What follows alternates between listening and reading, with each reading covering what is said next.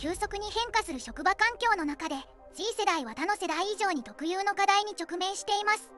ある Z 世代の若者は大学を卒業してからわずか数年で4度も転職を繰り返しました。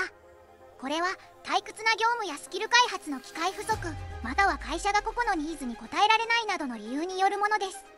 Z 世代は自信と独立心を持つことが多くこれは企業側にとって利点であると同時に難点にもなります。が求めるものと G 世代の自己評価との間にはしばしばギャップが存在しその違いが転職の多さにつながっています。多くの Z 世代は創造性を求め定型的な業務に対してフラストレーションを感じます。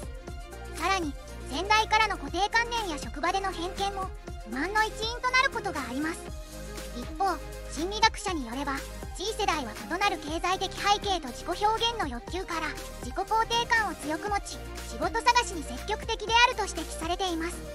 企業にとって重要なのは Z 世代が持つ創造性や個性を生かしつつ彼らのニーズと企業の期待をどのように調和させるかです。このバランスが取れれば Z 世代は大きな価値をもたらす存在となるでしょう。